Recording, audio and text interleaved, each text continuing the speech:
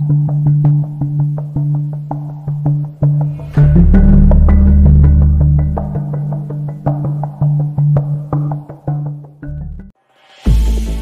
मुझे वापस ले आई घास के मैदान में से गुजरते हुए इसने बताया कि वो एक गोली चलाए बगैर इस चौकी को फतह करना चाहती है। मैं इसका मुँह तकने लगा, वो बोली रघु ये जगह रखेलपुर वाली बड़ी फौजी चौकी से ज़्यादा दूर नहीं है। यहाँ गोलियाँ चली तो वहाँ तक इन धमाकों की आवाज़ ज़रूर पहुँचेगी। और सूबेदार मेजर भी पीछे इतला कर देगा कि चौकी पर हमला हुआ है, वहाँ से भारी कमक पहुँच जाएगी और हमारा मिशन नाकाम हो जाएगा। सुधा रंगनी एक इंतहाई तजर्बाकार जर्नैल की तरह बातें कर रही थी। मैंने इस नुक्ते पर गौर ही नहीं किया था। मैंने पूछा, फिर तुम अपना ग्रोह क्यों साथ लाई हो? सुधा बोली, मेरा ख्याल था कि ये चौकी रखेलपुर कमांड पोस्ट से ज़्यादा दूर होगी, लेकिन ऐसा नहीं है।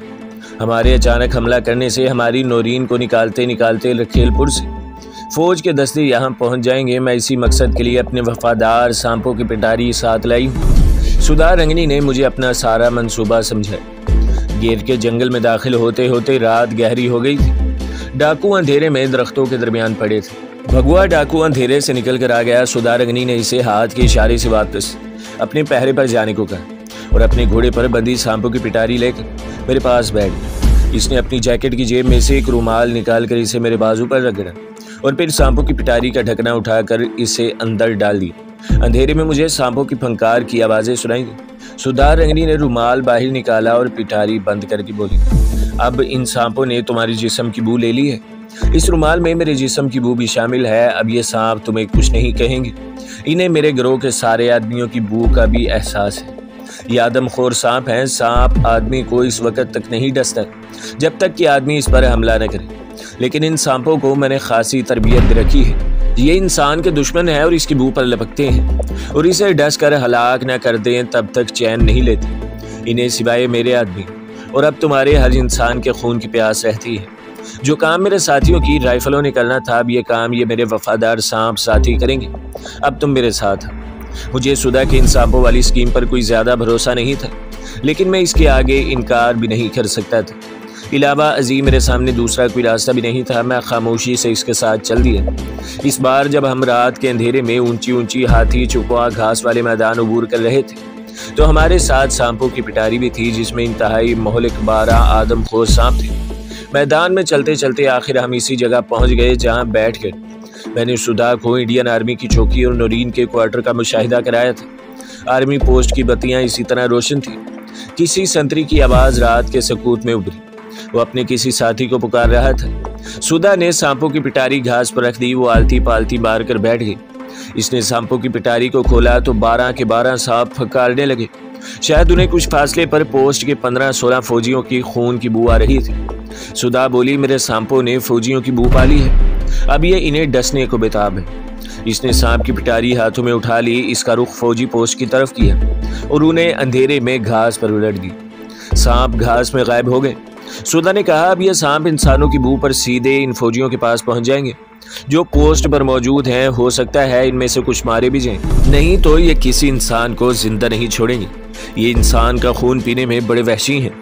ये चाहे खुद मर जाएँ, लेकिन फौजियों को डस कर इनके खून के चंद कतरे पीने में ज़रूर कामयाब हो जाएँगे। मैंने कदरे परेशान होकर कहा, फिर तो ये नौरीन को भी डस लेंगे। सुधा बोली, नौरीन के कमरे का दरवाज़ा रात को बंद होगा। ये बाहर वाले फौजियों को ही डसेंगे। बंद कमरे में दाखिल नहीं होंगे। सुधा के पास इसकी थ्री नाइट थ्री की राइफल मौजूद थी। नौरीन को डसने के अहतमाल का ख्याल इसे भी नहीं आया था। जवाब तो इसके पास मौजूद था, मगर वो परेशान सी हो गई बोली। भगवान न करे कि तुम्हारी नौरीन के क्वार्टर का दरवाज़ा खुला हो। ऐसा नहीं होना चाहिए। अच्छा तुम इसी जगह घास में छुपे रहना, मैं अभी आती हूँ। इससे पहले कि मैं सुधार रंगनी को रोकूं, वो एक चीते की तरह छलांग लगाकर मेरी नज़रों से गायब हो गई। मैं अंधेरी रात में कुछ फासले पर लगे इस बल्ब को तक रहा था, जो नौरीन के क्वार्टर की दीवार की अकब में जल रहा था। सुधार रंगनी इसी तरफ़ गई थी, मुझे मालूम था कि चूँकि गर्मियों का मौसम है, इसीलिए जिन फौजियों की ड्यूटी नहीं होगी, वो और सूबेदार मेजर बैरक के बाहर ही कैंप कार्टों पर सो रहे होंगे। खुदा न करे कि नौरीन के क्वार्टर के दरवाजे में सलाखें लगी हों। फिर तो यादम खोर सांप सलाखों में से अंदर दाखिल हो जाएगा। मैं दिल ही दिल में नौरीन की ज़िंदगी के लिए खुदा से दुआएँ मांगने लगा। मैं हमतन गोश्त है। एक मर्ग आलूद सन्नाटा चारों तरफ़ तारी था किसी वक्त दूर जंगल की जानब से किसी अजीब से जानवर के बोलने की आवाज़ आ जाती थी। खुदा जाने थोड़ी देर बाद फौजी चौकी की तरफ़ क्या होने वाला था। सांप सोए हुए फौजियों को डसकर पहरे पर खड़े संतरियों की तरफ़ बढ़े और उन्होंने रोशनी में सांपों को देख लिया तो वो गोली चला देंगे। कहीं सुधार अंगनी ने जवाबी फायर किया तो वहाँ शोर मच जाएगा और नौरीन की ज़िंदगी खतरे में पड़ जाएगी। कोई वाज तस्वीर मेरे सामने नहीं आ रही थी। बहरहाल कुछ न कुछ होने वाला था। मुझे अपने दिल के धड़कने की आवाज़ साफ़ सुनाई दे रही थी। सांपोर सुधार अग्नि को गए दस बारह मिनट गुजर गए थे। फिर अचानक चौकी की तरफ़ से एक चीख की आवाज़ बुलंद हुई, इसके साथ ही फायर का धमाका हुआ। इसके जवाब में तीन फायर हुए और फिर सन्नाटा तारी हो गया। यह सन्नाटा गोलियों के धमाकों से ज़्यादा दहशतनाक था। न जाने वहाँ क्या हो चुका था, मैं इधर उधर जा भी नहीं सकता था। अगर कोई फौजी वहाँ मुझे देख लेता तो मैं वापस कैप्टन सिंह के पास नहीं जा सकता था। मैं अपनी जगह दुबका रहा। सांपों की खाली पिटारी मेरे पास ही पड़ी थी। पोस्ट की जानब से मशीन गन चलने की आवाज़ नहीं आई थी। और दोबारा राइफल का फायर भी नहीं हुआ था, जिसका मतलब यही था कि सांपो ने अपना काम कर दिया था। मेरा दिल इस खौफ से लर्ज रहा था कि कहीं सांपो ने नौरीन को बिना डस लिया हो। फंकारों की आवाज़ आई, मैं पीछे हट गया। सितारों की फीकी रोशनी में मुझे कुछ सांप तेज़ी से घास पर रेंगते नज़र आए। वो पिटारी में घुस गए। सांप अपना मिशन पूरा करके वापिस आ रहे थे। मेरी आँखें नौरीन के क्वार्टर की तरफ़ लगी थी। अकबी दीवार वाला बल्ब इसी तरह रोशन था। वहाँ एक मुहिब सन्नाटा छाया था। फिर मुझे दो इंसानी साय भागते हुए अपनी तरफ़ आते नज़र आए। मेरा दिल धड़क उठा। मैं आँखें फाड़े देख रहा था साय करीब आए तो मैंने सुधा को पहचान लिया। इसके साथ भी एक दुबली पतली लड़की थी जो झुकी झुकी भाग रही थी। मेरी जान में जान आई, ये यकीनन नौरीन ही थी। सुधा मेरे पास आकर बैठ गई। रघु, ये लो तुम्हारी इमारत मेरे स्वामी।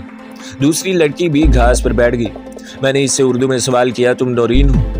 हाँ लड़की ने घबराई हुई आवाज़ में कहा। सुधा ने मुँह से एक बारीक सीटी की आवाज़ निकाली, फिर बोली, दो शाम मर गए नोरीन का रंग जर्दी माइल था, चेहरे के नक्श अंधेरे में धुंधले दिखाई दे रहे थे। इसने साड़ी जिसम के गिर्द लपेट रखी थी। सर के बाल शानों पर रिबन से बांधे थे। वो अभी तक परेशान से लग रही थी, तुम लोग कौन हो इसने पूछे? मैंने उर्दू में कहा, तुम्हारे दोस्त हैं, फ़िक्र न करो। सुधा बोली, अब बाकी सांप नहीं आएँगे। चलो रघु, यहाँ से निकल जाना चाहिए। कोई फौजी वहाँ ज़िंदा नहीं है। सुधा ने सांपों की पिटारी उठाई और आगे आगे चल दी। नौरीन को मैंने एक बार फिर हौसला दिया और अपने साथ लेकर चलने लगा। वो अभी तक घबराई हुई थी, दुश्मनों की कैद से निकल आने पर इस पर खौफ और खुशी के मिले जुले जज्बात के असर थे। मैंने इसकी ठंडी कलाई पकड़ रखी थी और इसके लिए जंगल के किनारे की तरफ़ तेज तेज चल रहा था। हम कहाँ जा रहे हैं, इसने नहीफ लहजे में पूछा। नौरीन, हम तुम्हारे दोस्त हैं, घबराओ नहीं। जंगल में दाखिल होते ही भगवा डाकू और दूसरे डाकू ने हमारा खैर मकदम किया। सुधा ने भगवा से कहा, भगवा, घोड़ों पर सवार हो जाओ हम वापस अपने ठिकाने पर जाएँगे। घोड़ी इस लड़की के लिए ले आओ, जल्दी करो। थोड़ी देर बाद नौरीन, सुधा, रंगनी और इसके ग्रोह के डाकू घोड़ों पर सवार गिर के घने जंगल में से गुजर रहे थे। हम सब खामोश थे, कोई कोई बात नहीं कर रहा था। सिर्फ़ घोड़ों के टापों की आवाज़ बुलंद हो रही थी। जंगल से निकले तो रात के अंधेरे में ऊँची नीची टेकरियों वाला मैदान सामने फैला हुआ था। ये मैदान भी उबूर कर गए, अब सामने तुराई के जंगलों का घना सिलसिला शुरू हो गया था।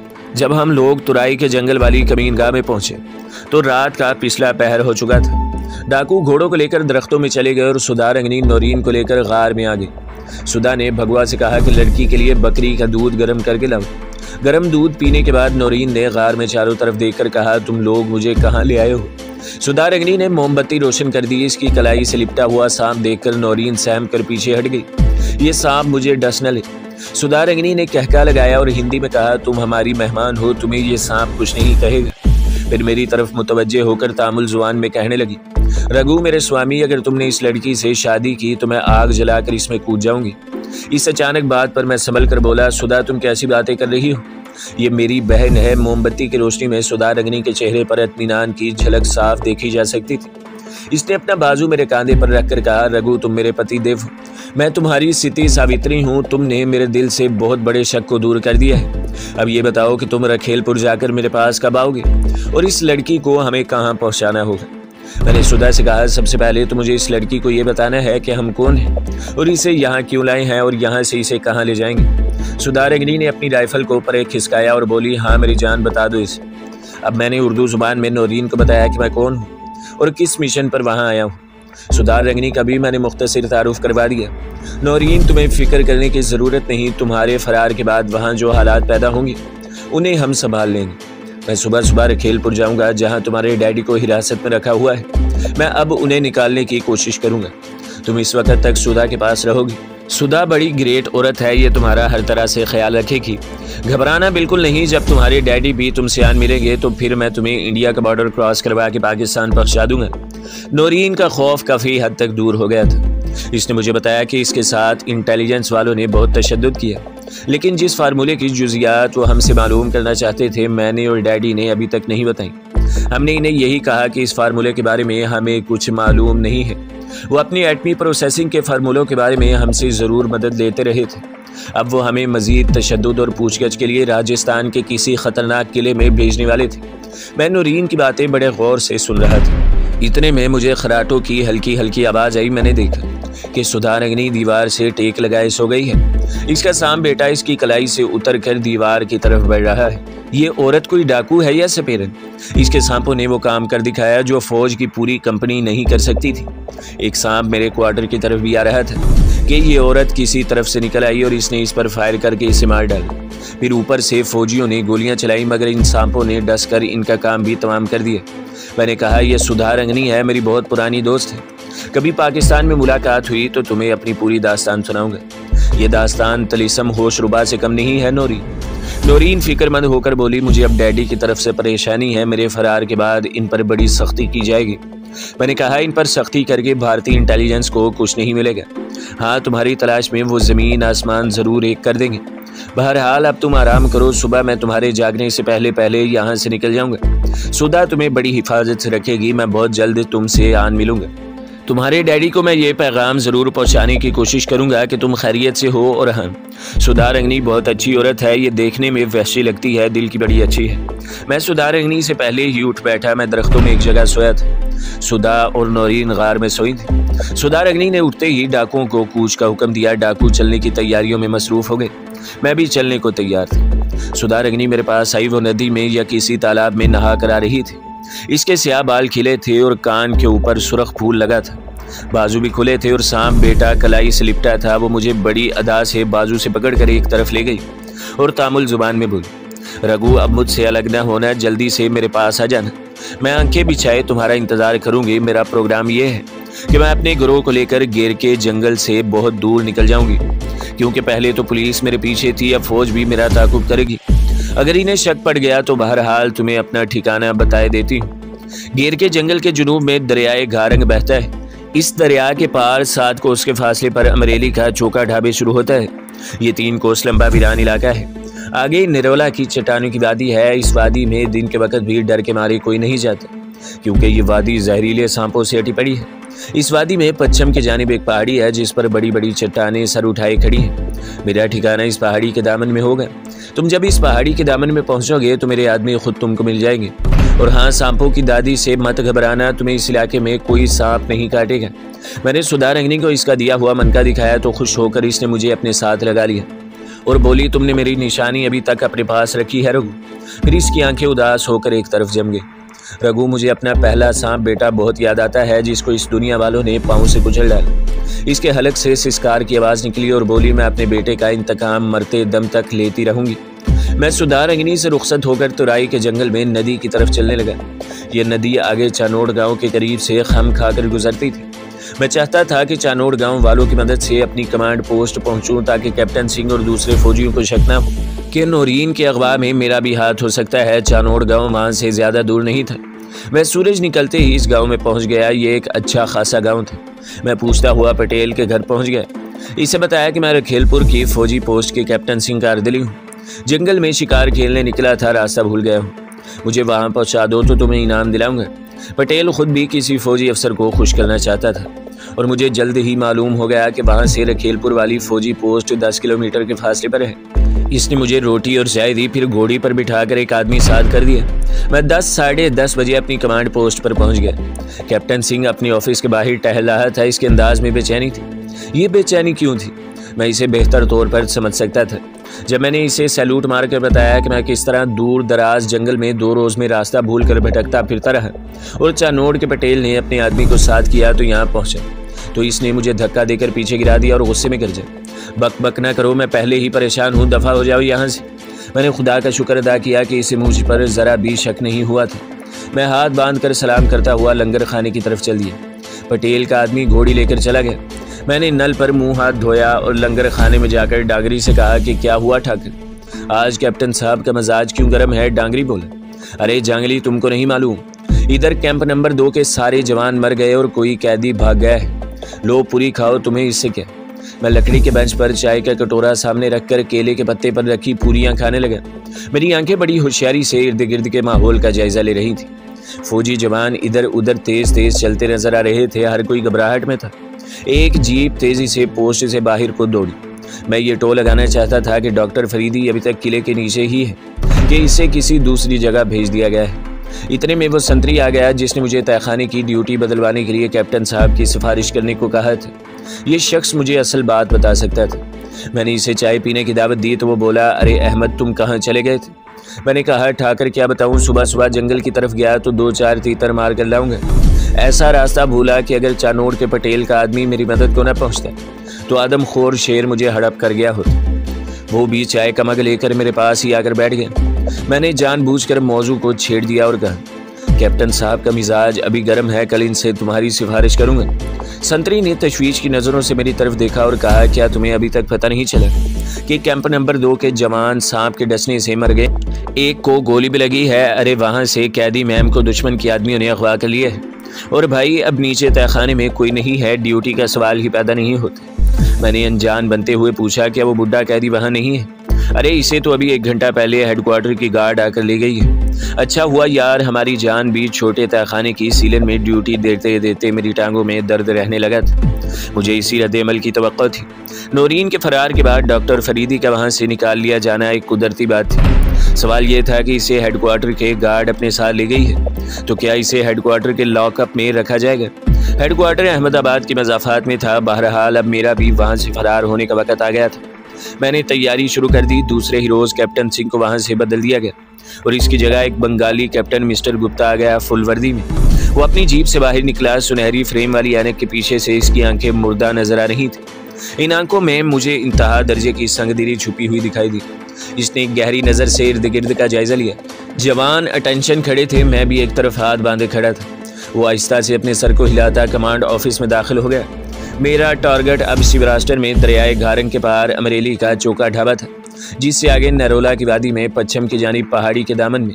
सुधार रंगनी डाकू की कमीनगाह थी और जहाँ मेरे मिशन की एक अहम तरीन शख्सियत, नौरीन बाहिफाजत मौजूद थी। मैं दोपहर के खाने तक ऑफ़िस के इर्द गिर्द मुख्तलिफ़ कामों में मसरूफ़ रहा। मैंने अब यहाँ से बहुत जल्द निकल जाने का प्रोग्राम बना लिया था। जो नया फौजी कप्तान आया था, वो किसी भी वक्त मुझे बुलाकर पूछ गछ कर सकता था। क्योंकि मैं इन सारे फौजियों में गैर फौजी और बाहर का आदमी था। यहाँ से निकलने से पहले अमरीली के बारे में मालूम हासिल करना ज़रूरी था।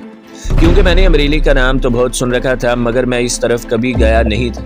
दोपहर का खाना खाने में लंगर में गया तो वहाँ फिर अपने तहखाने वाले संतरी से मुलाकात हो गई। ना जाने क्यों मैंने इसके सामने अमरीली का नाम लेना मुनासिब न समझा।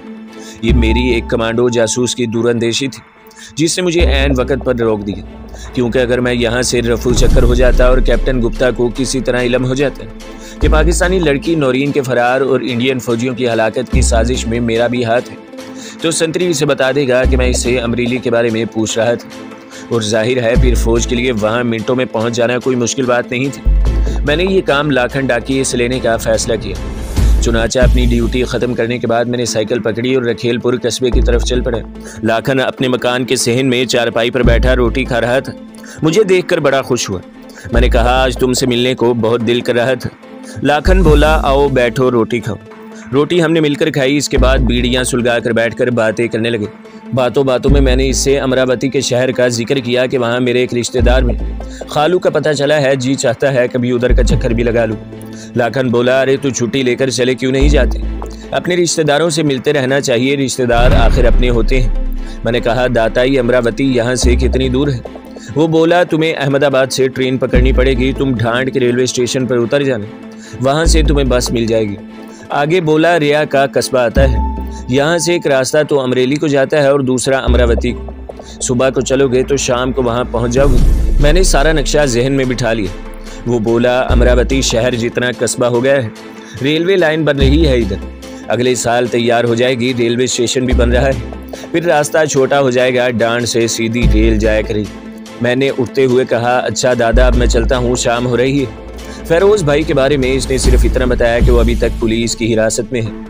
मैं चुपके से इजाज़त लेकर वहाँ से साइकिल पर सवार होकर निकल आए तो दोस्तों, अगली किस्त देखने के लिए हमारे चैनल को सब्सक्राइब करें, वीडियो को लाइक करें और बेल के आइकन को भी दबा दें, ताकि हर जो आने वाली वीडियो है वो आपको सबसे पहले मिलती रहे।